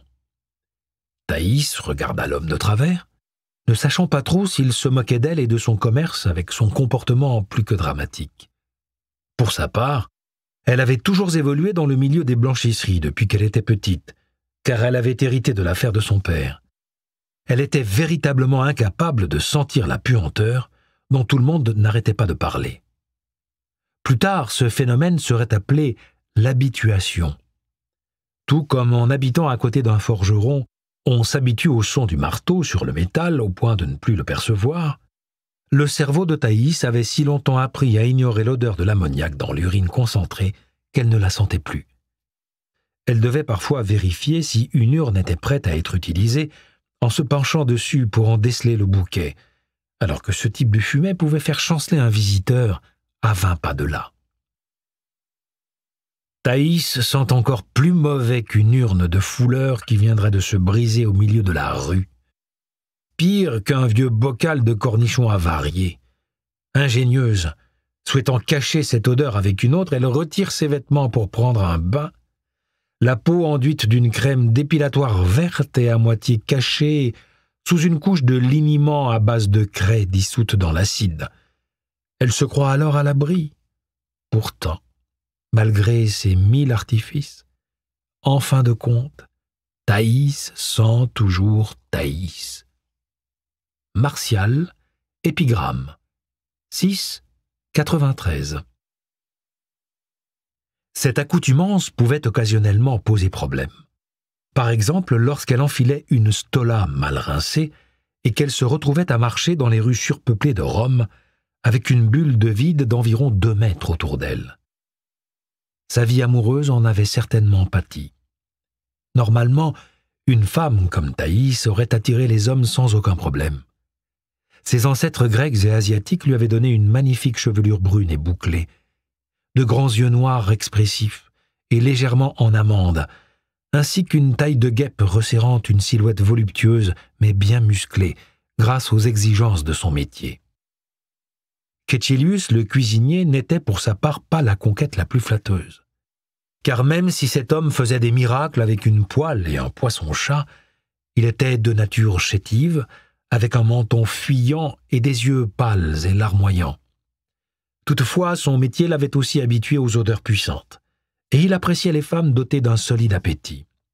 Voir Thaïs faire honneur à un plat de moules et d'épeautres sur son tranchoir lui réchauffait le cœur, d'autant plus qu'il sentait parfois que ses efforts n'étaient pas appréciés à leur juste valeur. Mais Ketchilius n'était pas là à présent, et Thaïs en informa brusquement l'esclave. Il avait dû annuler leur soirée parce qu'il avait été embauché pour livrer une performance culinaire chez un marchand sur le Kélius ce soir-là. Elle en était désolée. L'esclave était sur le point de mentionner que c'était précisément parce que Ketchilius ne se présentait pas sur les lieux de la dite performance qu'il était venu la voir. Toutefois, à cet instant précis, l'un des fouleurs renversa une amphore pleine d'eau de parfum Roma au naturel dans le bassin de décantation derrière lui. La mixture contenait aussi des morceaux de fenouil écrasés et des pots d'oignon pour revivifier la couleur orange des tissus qui y seraient lavés. Une vague d'effluve de réglisse due au fenouil, mêlée aux fumées des oignons pourris dans l'ammoniac, suffit à faire virer le teint de l'esclave au vert pâle. Il marmonna ses remerciements et prit ses jambes à son cou, laissant derrière lui une Thaïs déroutée, observer fixement son dos.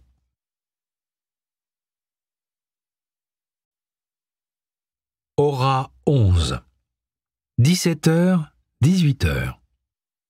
Le cuisinier dans tous ses états. J'aime mieux que les plats servis à ma table plaisent à mes invités plutôt qu'aux cuisiniers. Martial, épigramme, 9, 82. Alors qu'il peinait à remonter la colline, les bras chargés de ses ingrédients spéciaux et de sa batterie d'ustensiles, Septimus Ketchilius fut aperçu par un esclave qui se précipita depuis le portail de la maison des Manidus pour l'informer de toute urgence qu'il était en retard. Comme si Ketchilius ne le savait pas déjà. Pour toute réponse, il lui grogna Merci pour cette précision. Quand tout à l'heure je te collerai la tête dans le four, tu pourras me dire s'il est chaud. le cuisinier ne passait pas une bonne journée. Depuis sa rencontre avec l'hôtesse Licinia cinq jours plus tôt pour parler du dîner, Ketchilius était conscient que la confection de ce repas serait un travail d'équipe.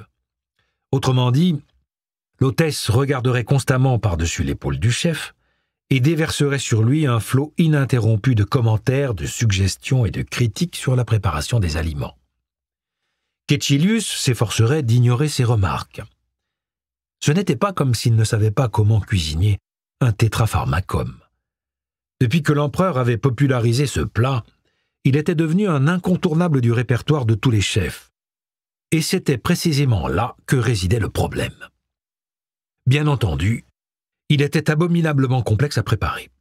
Après tout, s'il était facile à confectionner, des cuisiniers spécialisés comme Ketchilius n'en vivraient pas. Il était composé de quatre remèdes, ce qui est la traduction littérale du terme tétrapharmacum.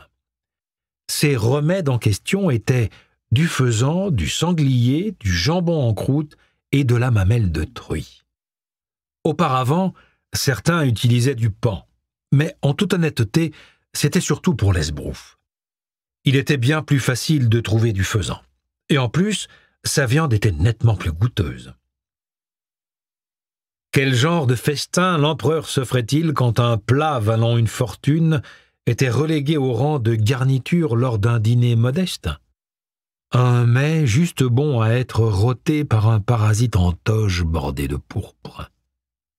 Juvénal, satire, 4. Il était relativement facile de se procurer du faisan au marché où Ketchilius s'était rendu ce matin-là. Le jambon en croûte était encore plus aisément trouvable. Il lui avait suffi de récupérer la viande dans son propre garde-manger. La pâte qui devait l'entourer, légère et feuilletée, était enveloppée dans un fin sachet de cuir. Elle attendait juste d'être déroulée dans la cuisine des Manidus. Pour le sanglier, on aurait pu croire qu'il soit difficile à dénicher. Mais Ketchilius avait des relations avec tout un réseau de bouchers qu'il avertissait à chaque arrivage et comme le sanglier devait être servi légèrement faisandé, le fait que cette viande ait, pour ainsi dire, maturé n'était pas vraiment un problème. Non. Le plus complexe à trouver était la mamelle de truie. Tous les autres ingrédients étaient enveloppés dans cette mamelle et devaient en tomber lorsqu'elle était tranchée. Aussi fallait-il une grosse mamelle. Cela impliquait de tuer une truie allaitante, Conséquemment, il fallait trouver un paysan prêt à sacrifier une truie reproductrice avant même que les porcelaines soient sevrées. Et il fallait ensuite coiffer sur le poteau tous les autres chefs de la ville qui cherchaient à acquérir la même mamelle, parce que la nouvelle de la disponibilité d'un tel produit se répandait comme une traînée de poudre. Aussi, Ketchilius avait-il fait tout son possible pour suggérer à l'hôtesse d'autres plats. Il avait habilement tenté de l'appâter avec les charmes exotiques d'un steak de tigre ou d'un rôti de girafe. Des centaines d'animaux de ce type avaient trouvé la mort lors d'un récent spectacle au Colisée. Les Romains n'aimant pas le gaspillage, la quasi-totalité des créatures massacrées dans l'arène se retrouvaient finalement servies lors d'un dîner. Ketchilius avait même essayé le crocodile. Il avait été surpris d'y découvrir une chair tendre et juteuse un peu comme celle d'une volaille de qualité. Si son intérêt avait été piqué, Licinia avait toutefois décidé qu'avec sa réputation en jeu, elle préférait éviter de jouer la carte de l'originalité. Une aristocrate de haut rang aurait pu rire de son échec, si son émincé d'éléphant n'avait pas bon goût. Et pour une personne s'efforçant de grimper les échelons de l'échelle sociale, ce risque était trop grand. Ketchilius avait alors suggéré son plat signature, pensant qu'il conviendrait peut-être au goût de l'hôtesse. Il avait fait le succès de tous ses dîners et n'avait jamais remporté une critique. Qui n'appréciait pas les escargots nourris au lait, puis frits à l'huile d'olive et agrémentés d'une sauce aux entrailles de poisson putréfié Le cuisinier possédait une cage spéciale dans sa cuisine dans laquelle il gardait des Helica pomatia, les escargots comestibles des Romains. Lorsqu'il recevait une commande pour ce plat, il plongeait ses escargots dans une jarre contenant un mélange de lait, de mou de raisin et de farine d'orge. Un esclave venait alors régulièrement retirer les excréments à mesure que les escargots s'empiffraient, jusqu'à ce qu'ils deviennent trop gros pour rentrer dans leur propre coquille. Ils étaient alors prêts à être frits dans la plus délicate des huiles d'olive vierge, de première pression à froid, bien évidemment. Pour parachever cette extravagance culinaire, Ketchilius ajoutait deux cuillers de liquamen. Cette sauce au poisson était très appréciée des Romains, qui en importaient des milliers d'amphorées d'Hispanie tous les ans.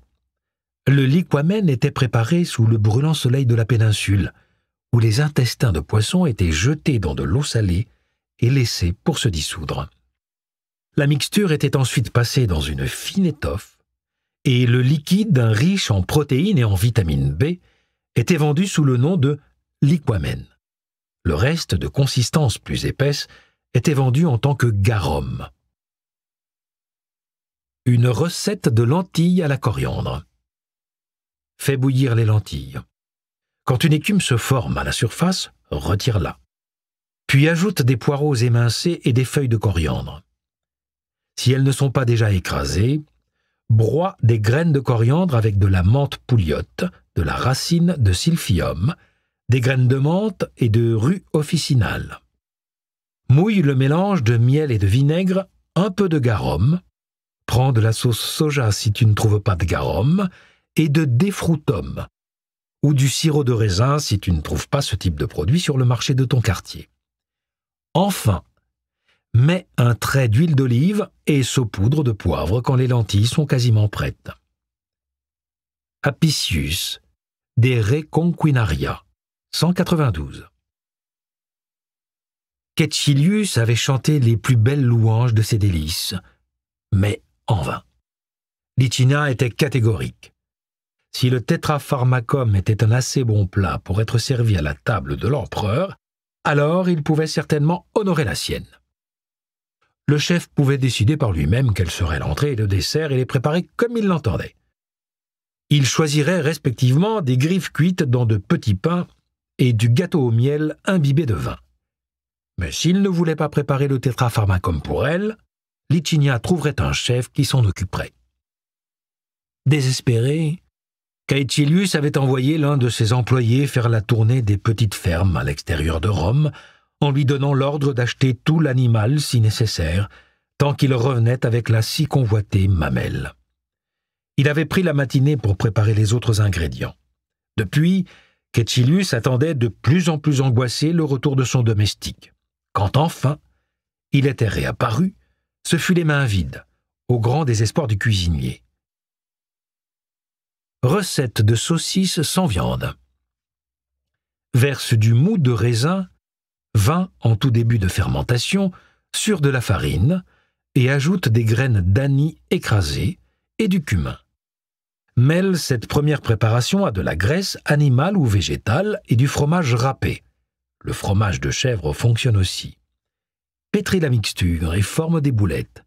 Pose-les sur une feuille de laurier et mets-les à cuire. Caton des Agricultura 121 il n'y avait alors plus rien d'autre à faire que d'en venir au dernier recours et de supplier ses pères de l'aider. Le domestique fut alors envoyé dans toutes les cuisines de la ville pour demander si quelqu'un pouvait le dépanner d'une mamelle de truie, et qu'on sache que Quétilius était prêt à tout pour l'obtenir, y compris à offrir son premier né à qui l'aiderait. Il n'obtint de succès qu'en fin d'après-midi.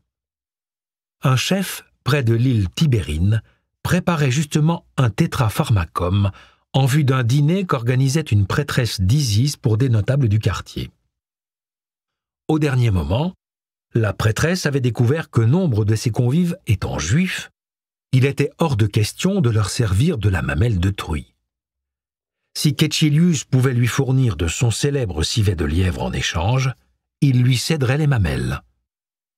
Ketchilius dut alors aller en personne sur l'île Tibérine en courant pour apporter plusieurs filets plus ou moins frais d'esturgeon de la région du pont. Le cuisinier de la prêtresse fut surpris de découvrir que le civet de lièvre aurait également été en contradiction avec les restrictions alimentaires juives, tout comme la viande de porc, et le cuisinier, grandement soulagé, échangea alors les mamelles de truie contre le poisson. En plus, les mamelles avaient déjà été nettoyées, marinées et préparées. En arrivant chez les Manidus, Ketchilius n'aurait donc plus qu'à les farcir avec les autres ingrédients préparés avant de les cuire. Il avait envoyé un employé faire chauffer le four sur place et préparer les grives. Alors il s'était mis en route seul, en retard, et déjà épuisé. Avec son domestique déjà parti, il avait dû porter tout le matériel tout seul, chargé comme un âne, mais attendu comme le Messie. La remarque de l'esclave sur le retard de Ketchilius à son arrivée n'était rien comparé au flot d'invectives avec lequel Licinia accueillit son cuisinier itinérant. Ketchilius l'interrompit brusquement mais poliment. Maîtresse, on peut parler des raisons de mon retard, ou je peux préparer le dîner pour tes invités. Si tu choisis la deuxième proposition, je suis à ton service. Ketchilius était très heureux de ne pas exercer son métier en tant qu'esclave dans un riche foyer. Car une telle impudence lui aurait au minimum valu d'être copieusement fouetté. Il n'était pas inhabituel que des cuisiniers soient battus, même au cours d'un repas. Le poète Martial avait écrit que certains hôtes préféraient encore taillader le cuisinier que son lapin. Au pire, Ketchilius pouvait perdre sa réputation. Et comme celle de Licinia était aussi en jeu, il savait très bien qu'elle céderait à son ultimatum. Un plateau supportant un énorme porc fut posé sur la table. Tout le monde exprima son admiration pour le cuisinier et la vitesse avec laquelle il avait fait cuire l'animal. Vous pouvez le croire sur parole, une simple volaille n'aurait pas pu être rôtie en ce laps de temps. Et ce, d'autant plus que le porc semblait encore plus gros que le sanglier qui fut servi au plat précédent. Quelques secondes plus tard, Trimalcion, qui observait de près le plat, eut un regard sévère et s'écria Oh non Oh non A-t-il été vidé Eh bien non Par les dieux, il a encore ses viscères. Qu'on fasse venir le cuisinier. Le pauvre homme arriva et se plaça à côté de la table. Chagriné, il admit avec tristesse avoir complètement oublié. Oublié hurla Trimalcion. Ça alors? À l'entendre, on pourrait croire qu'il a oublié de l'assaisonner de poivre ou de cumin. Qu'on le déshabille pour le fouetter. Quelques instants plus tard, ses vêtements lui furent retirés. Il semblait bien piteux entre les deux hommes de main de Trimalcion. Tout le monde voulut le défendre, en disant que ce genre de choses arrivait, qu'il fallait le pardonner pour cette fois-ci, mais que si d'aventure il recommençait, personne ne prendrait plus son parti. Quant à moi, je bouillais d'indignation. Je ne pouvais m'empêcher de me pencher à l'oreille de mon ami Agamemnon pour lui marmonner Quel abominable domestique Par Jupiter Comment peut-on oublier de vider un porc Si j'étais à sa place, je ne pourrais même pas lui pardonner d'avoir été aussi négligent avec un poisson. Maître Imalcion se mit soudain à sourire et annonça Très bien, très bien. Si tu as aussi mauvaise mémoire, alors vide-le maintenant devant nous pour que nous puissions tous voir que tu as fait ton travail. Alors le cuisinier, d'une main tremblante, fit une grande entaille le long du ventre de l'animal. L'incise s'élargit sous la pression du poids, et saucisses et boudins en tombèrent en avalanche. Là, tous les esclaves se mirent à applaudir d'un seul homme et le cuisinier fut récompensé d'un pichet de vin.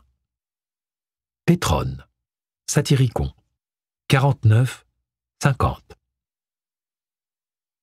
Il régnait dans la cuisine une chaleur étouffante, comme il l'avait espéré. Quetilius remercia son domestique et Fornax, la déesse des fours, car tout était prêt. Il n'avait qu'à déballer ses ingrédients.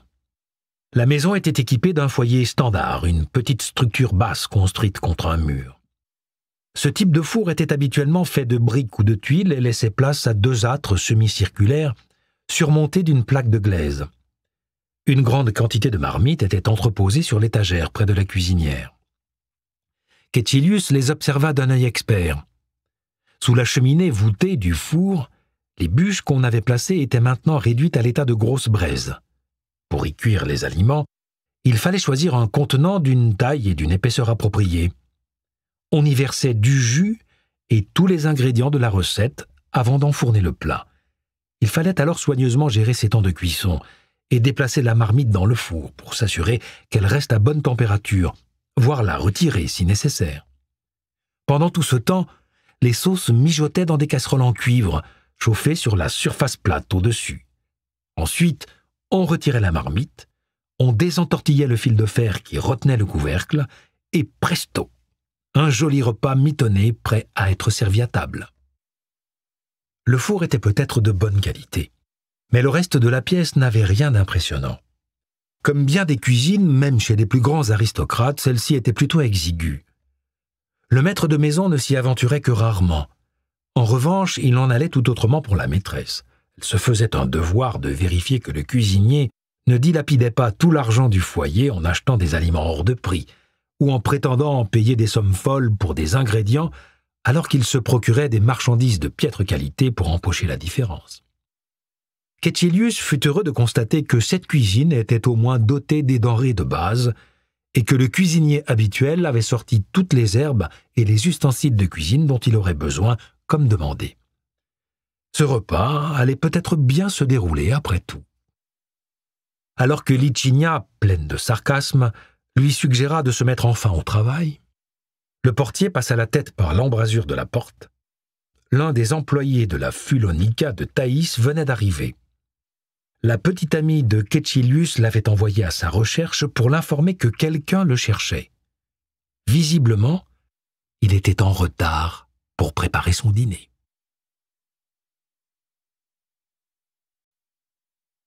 Aura